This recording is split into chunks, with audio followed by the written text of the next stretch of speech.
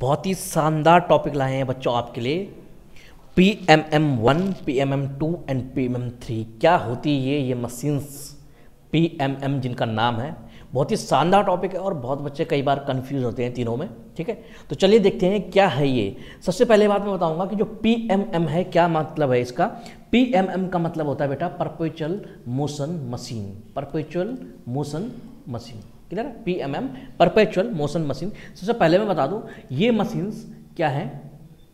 देखते हैं पहले। ये लास्ट में बताएँगे, ठीक है? चलिए तो सबसे पहले पी एम एम वन की तरफ़ चलते हैं। पी एम एम वन क्या है, ठीक है? पी एम एम वन हमने लिखा है यहाँ पे machine that produces work continuously continuously without any energy input clear है? एक ऐसी मशीन ये देख सकते हैं आप, कि एक ए मशीन है पी एम एम वन ये क्या कर रहा है? वर्क प्रोड्यूस कर रहा है कंटिन्यूसली ध्यान रखना कंटिन्यूसली ठीक है?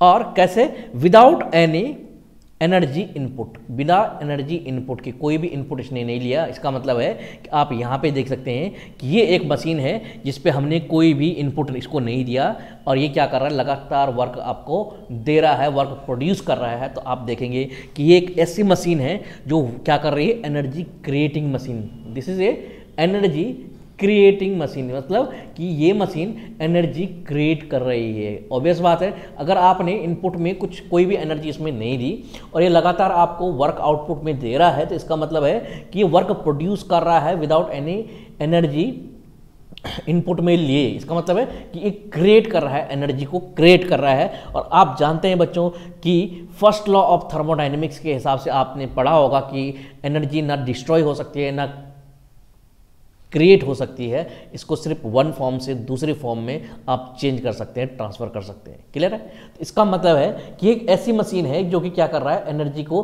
क्रिएट कर रहा है जो कि संभव नहीं है इस तरह की मशीन क्योंकि एनर्जी क्रिएट नहीं हो सकती। आप कहेंगे कि सर बैटरी है बैटरी हमने लगा दी, हमने कोई भी इनपुट नहीं दे रहे हैं, लेकिन ये लगातार हमें वर्क दे रहा है। तो बेटा बैटरी का ये है कि बैटरी भी कुछ टाइम तक ही देगी। एक एक टाइम के बाद बैटरी भी आपकी डेड हो जाएगी। क्लियर है? तब ये वर्क नहीं देगी। लेकिन ऐसी मशीन जो कंटिन्यूसली वर्क दे रही इन्फानाइट टाइम तक वर्क आपको दे रही है। विदाउट एनी एनर्जी इनपुट वो मशीन कहलाएगी बेटा। P M M one perpetual motion machine of first kind and such machine violate first law of thermodynamics क्योंकि इस तरह की मशीन क्या कर रही है? एनर्जी को क्रिएट कर रही है। इसलिए ये क्या कर रही है? ये फ़र्स्ट लॉ ऑफ़ थर्मोडाइनमिक्स को वायलेट कर रही है। क्लियर है? इसका मतलब कि P M M machine P M M one जो मशीन है, ये पॉसिबल मशीन नहीं this is a impossible machine क्या है? इम्पॉसिबल इम्पॉसिबल मशीन जो पॉसिबल नहीं है, क्योंकि ये फ़र्स्ट लॉ ऑफ़ थर्मोडाइनमिक्स को क्या कर रही है?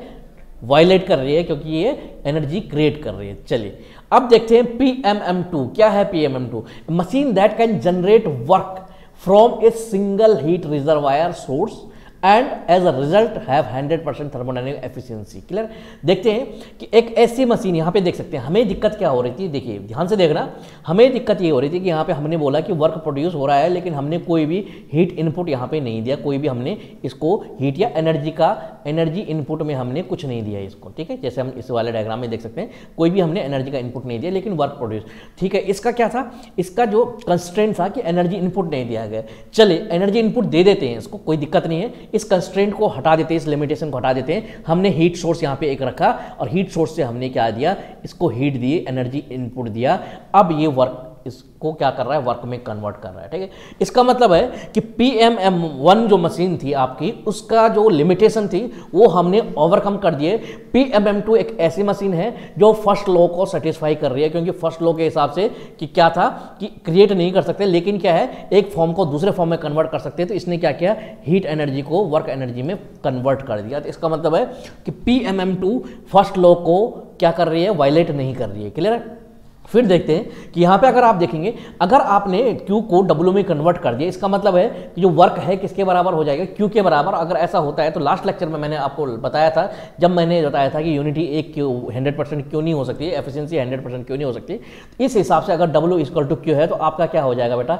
ये एफिशिएंसी हंड्रेड परसेंट हो जाएगी। इसका मतलब है कि आपने डब्ल्यू इक्वल टू क्यू का सीधा सीधा मतलब है कि आपने हीट को कंप्लीटली वर्क में कन्वर्ट कर दिया। इसका मतलब हीट आपकी लो ग्रेड एनर्जी है। लो ग्रेड एनर्जी है और आपने लो ग्रेड एनर्जी को क्या कर दिया? वर्क जो है आपकी high grade energy low grade energy को आपने हाई ग्रेड एनर्जी में कंप्लीटली कन्वर्ट कर दिया है, जो कि पॉसिबल नहीं है। कैलविन प्लांक स्टेटमेंट का वायलेशन है क्लियर क्लियर क्योंकि इस तरह की जो मशीन होगी, उसकी एफिशिएंसी 100 परसेंट होगी और कैलविन प्लांक स्टेटमेंट क्या कहता है? दूसरी बात बताता हूँ। कैलविन प्लांक स्टेटमेंट आपका क्या कहता है कि कोई भी आप ऐसा इंजन नहीं बना सकते जो सिंगल रिजर्वायर के साथ हीट एक्सचेंज करके वर्क आपको प्रोड्यूस करे। ये जो ऐसा मशीन है पी एम एम टू ये क्या कर रही है? सिर्फ़ एक ही रिजर्वायर है, हीट रिजर्वायर है, जो कि हीट सोर्स है जिसके साथ क्या कर रहा है, ये हीट ट्रांस, ये एनर्जी क्या कर रहा है? हीट ट्रांसफ़र करके क्या कर रहा है? वर्क में इसको कन्वर्ट कर रहा है। इसका मतलब है कि ये कैलविन प्लांग स्टेटमेंट का वायलेशन है। कैलविन प्लांग स्टेटमेंट के हिसाब से इसको कुछ हीट रिजेक्ट करनी पड़ेगी। Some heat it should reject some heat clear है? और अगर ये रिजेक्ट करता है तो उस केस में डब्ल्यू जो आपका होगा डेफिनेटली क्यू जो आपने यहाँ पे सप्लाई किया, उससे हमेशा कम होगा। क्लियर है? इसका मतलब है कि परपेचुअल मोशन मशीन ऐसी मशीन है जो सिंगल रिजर्वायर के साथ हीट एक्सचेंज करके वर्क आपको दे रही है। मतलब लो ग्रेड एनर्जी को कंप्लीटली हाई ग्रेड एनर्जी में दे रही है। एक ऐसी मशीन जिसकी एफिशिएंसी हंड्रेड परसेंट है सत प्रतिशत एफिशिएंसी वाली मशीन है, जो कि पॉसिबल नहीं है विच इज़ इम्पॉसिबल मैंने परसों में बताया था आपको, जो कि इम्पॉसिबल है, जो कि कैलविन प्लांक स्टेटमेंट का वायलेशन है। किसका वायलेशन है बच्चों? Violation of Kelvin Planck statement ये हमने ऊपर लिखा हुआ है। Such devices violate the second law of thermodynamics second law में कौन सा है? कैलविन प्लांक स्टेटमेंट का वायलेशन क्लियर है?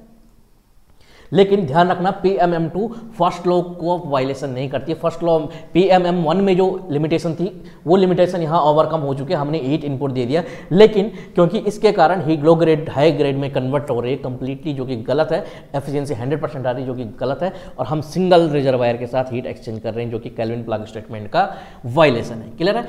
इस तरह की जो मशीन इंपॉसिबल मशीन है, इनको हम नाम देते हैं पी एम एम टू अब बात आती है पी एम एम थ्री क्या है P M M three a machine that completely eliminates friction एक ऐसी मशीन जो कंप्लीटली इलिमिनेट करे फ्रिक्शन को and continues motion forever due to inertia मतलब क्या है? समझाता हूँ आपको, ध्यान से देखिएगा। ये कोई सरफेस है यहाँ पे, ठीक है? ये कोई सरफेस है, ठीक है? हॉर्जेंटल कोई सरफेस है कंप्लीटली और यहाँ पे क्या है बच्चों? यहाँ पे एक मैंने एक बॉल सपोज़ रखी है, ठीक है? ये बॉल मैंने रखी है और मैंने क्या किया? और ये जो सरफेस है, इसको मैंने बोला कि जो सरफेस है दिस इज़ फ्रिक्शनलेस क्या है?